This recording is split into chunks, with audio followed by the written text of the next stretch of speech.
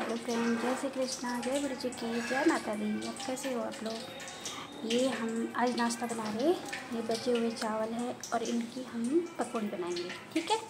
अभी मैं आपको बताती हूँ, मैंने इसमें हल्दी, नमक, मिर्ची, धनिया पाउडर और अभी बेसन मिक्स करूँगी।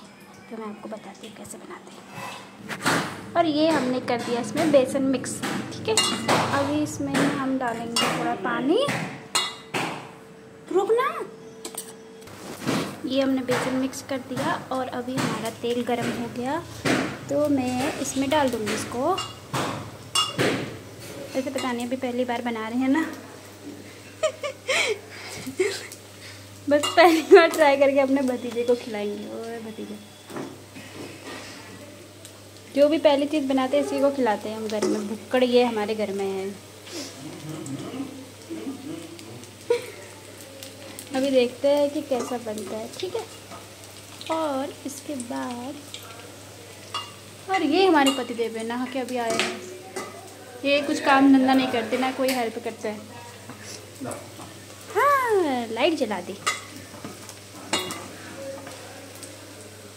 और ये जाएगा ना कॉलेज और ये हमारे चावल के पकौड़ी बन के तैयार हो गए हैं। आप कुछ बोलिए। ये नहा के आए ना अभी इसीलिए।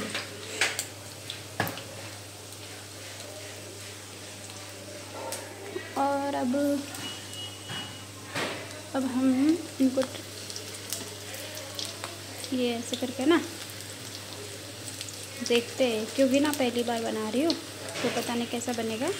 जैसा भी बनेगा, देखते हैं कैसा बनता है। हम पाँच लोग हैं तो इसलिए पाँच ही बने क्योंकि चावल थोड़ा सा ही थे तो मैंने सोचा कि वेस्ट करने से तो अच्छा है कि कुछ बना लीजिए इनका, ना फेंकना पड़ता है फालतू में और क्या है ना कि बारिश आ रही है तो टेस्ट